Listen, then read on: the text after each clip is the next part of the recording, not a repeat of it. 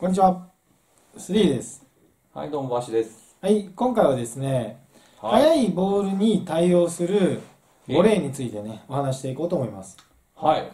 マーシーさんはダブルスしてて、前衛に立ってると。はで、急にドーンで速いボール来たら、い。ああ、びっくりしません？びっくりしますね。で、実際にちょっと質問ももらってて、おあのダブルスをしてて、急に速いボール来た時ーに、は対応できなくて困っているというい。ね、うん。えー質問を受けたんですけど、はえーじゃあマッシーさんそういう時どうします？い。どうします？はい、もう急にバーンってボール来たらどうなります？わーってなる。ね、わーってなりますよね。うん。で、だけど弾かれたりしちゃいますね。ねえだから準備できてないから、はいはい。もうとりあえず出すだけでね、ね。結局あ当たりもせずとかそうねですよね。でもう失うパターンですよね、そうやってミスした時ってどう思います、どう思います？どう思います？どう思います？いやいやいや、もう、ま、前に言い過ぎたとか、うん。あもうちょい下がっとけば取れたかなとかそういう考え方しますよね。ねまあでで自分を責めちゃいますよね。うん。なんかボレーがダメだったとかね。そうね。そこでちょっとね、知っといてもらいたいのが、はいはい。こちらなんですけど、まあ、要はこうダブルスの形で、この1の人が、ね、こう2に向かってボールをボーンって打ったと。おそれで対応できなくて弾かれるっていうね。はいはこれは2がバッシーさんです。ね。で、これでドーンってやられちゃうんですよね。でもこういうね、お悩みってね、今回いただいたね、えー質問もそうなんですけど、他にもいらっしゃると思うんで、ちょっと覚えておいてほしいのが、はその、例えば、今バッシーさんボール持ってますよね。いもうもうですねこれをちょっと上に上げて取ろうと思ってください。やってください。ポンと。そう。じゃあ、今、ボールを上げようと思いましたよね。あげようと思いました、はい。で、上げましたよね。あげたじゃあ、ボールを上げようと思って実際にそのね、動作に出るのに何秒かかるって言われてるか分かります？あげようと思ってパッて実際に上げるまでの時間。実際にあげるまでの時間上げようと思ってから上げるまでの、そう。指令、脳が指令与える時間。0.5惜しい。まあ大体まあ、まあ、ほぼ正解0.4秒って言われてるんです。おじゃあ逆にこれ平均速度なんですけーど、うんベースラインからベースラインまで。は大体まあスピードショット、まあ個人差があるんですけど、速いボールで言うと、こっからここまで何秒かかるって言われてるか分かります？いこっからバーンって打ちましたそれで向こうまで行きましたそうい一般、一般の人の平均。え何秒ぐらいなのね？ポ約でいいです。これはあの、本当に個人差があーンそうるんで。ね速さによるもんねそうそうそう。2秒ちょっとぐらいじゃんまあ大体1秒って言われてるんですよね。そんな速い？いや、早いです、早いです。ってなったら、その、要は、そういう、もう単純計算すると、ここまで、ね要はネットを超える場合が0.5秒かかるってことですよね。そうよ半分やからね。ってことは今の計算で言うと、ボールがボーンってきましたと。じゃあネット付近で0.4秒かかるとしたら、ここでマッシーさんは、あ、バックに来たとか、フォアに来たうんとか思うわけじゃないですか。うんで、か感づいてから指令出すんですよね。0.4秒やから、ね間に合わんよねって話そういうことなんですよ。だからもうほぼ時間がないってことこですよ。の打つ時に0.4秒判断しとかんとこの人は動けないってことだもんねだからほぼ動作に0.2秒でやらないといけないってなったら、ね多分手が出てギリギリですよね。そうねだから、ねですよね。怖っていうだけのこと、そうこれぐらいしかできないですよね。だってこの辺でも0.4秒使うんで、ねあ自分がともあ、フォアと思ってこう、指令出してる間にもうこの辺までボール来てるんですだから打てないんですよね。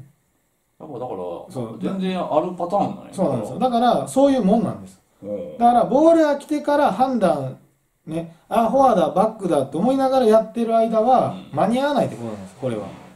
じゃあ、どうしたら、うんでも上手な人ってそれをポーンって打てるじゃないですか。うんそれなんでだと思います？だって脳の速度なんてそんな変わんないじゃないですか。反応だから速度。この1番がはい。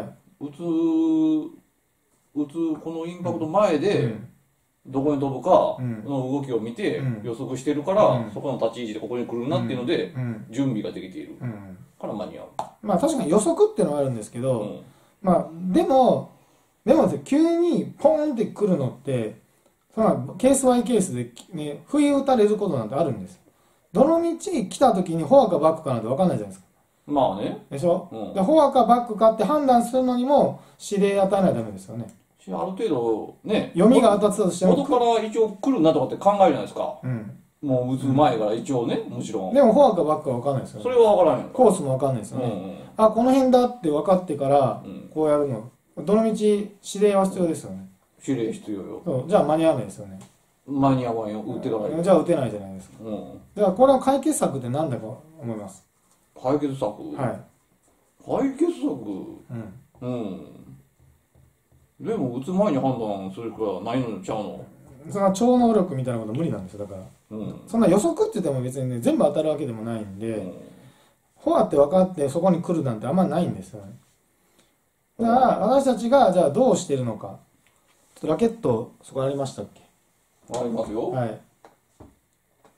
じゃあ、これで言うと、正直ですね、この、まあ、もう、まあ、これを言うと、まあ、もうそこまでだっていう答えなんですけど、正解は、もう体が勝手に反応するレベルまで練習するなんです。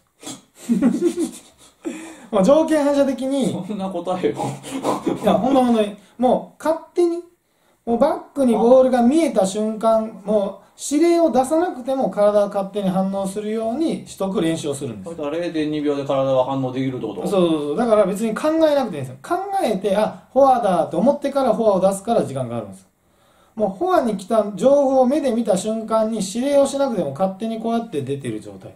はだから、人って急にこうやってうわーってやられたら、こうやってうわーとかこうなるじゃないですか。あうんそうやって条件反射的にうわーとかなるのをうん体に染み込ませるんです。当てはめるわけ？そうそうそう。だから練習はそういう練習をボレーでやるんです。速いボールが来たら、もうはって勝手にラケットがね、出るような。はだから速いボールバンバン出してもらって、それをとりあえずもうこうやって返す練習とかしていったら、いざとなった時に勝手に出てるんですよ。だから私たちもボレーとかする時にわざわざ、あ、バックボレーと思ってやらないんです。まあボールを見てるだけなんです。で、来たら勝手にラケットがここに来てるんです。だから、あとはポーンって合わせて打つだけなんです。それがやっぱりボレーが速いボール苦手な人っていうのは遅いんですよ。この、来てから出してるような感じがするんで、来た瞬間にはもうラケットはここにあると。来た瞬間にここの元はもうラケットが出るようなは人間にしとくんです。ボール、街中から歩いてて、ラケット持ち歩いてて、急に投げられてもパッて出るような人間にしとくんです。あなるほどそねうででじゃあそういう練習をするともう速いボールガンガン出してもらってもう勝手に嫌でも、ね、出すような練習とかああとはすぐにラケットが出る構えを自分で見つけるっていうのも大事ですね。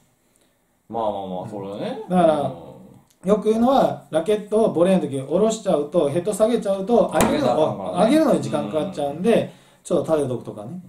でバックが出るの反応遅いんだったらちょっとバック寄りに構えとくとか。フォアはすぐ出るけどバック遅いんだったら私はそうしてるんですけどねど真ん中よりちょっとバック寄りで構えることによってすぐにパッと出るとかね。そういう工夫をしてボレーは技術で考えるんじゃなくて反応で考えてあげると結構対応できるんで。確かにね。やっぱり前で打つショットなんでうん。時間がなくなるんですよね。ね。ストロークより。考える時間ないですもんね。そうなんですよ。やっだからそういうふうに、まあ、自分でねもう反応はねうん。もうこれぐらいの0.4秒でもうね、えー時間かかっちゃうっていうこういうことを知っておいたらね、えーそういう練習方法も変わるので、まあ、ぜひねあの速いボールで前衛で困ってる方はあの技術を磨くというよりかは、うん。反応をねえーレベルを体に染み込ますっていうそういうね練習をした方がボレーはいいよっていうね、えーそういう話でしたので、まあ、よかったらね、えー今回お話したことを参考に練習してみてください。では終わります。ありがとうございました。ありがとうございました。概要欄のテニス上達法もチェック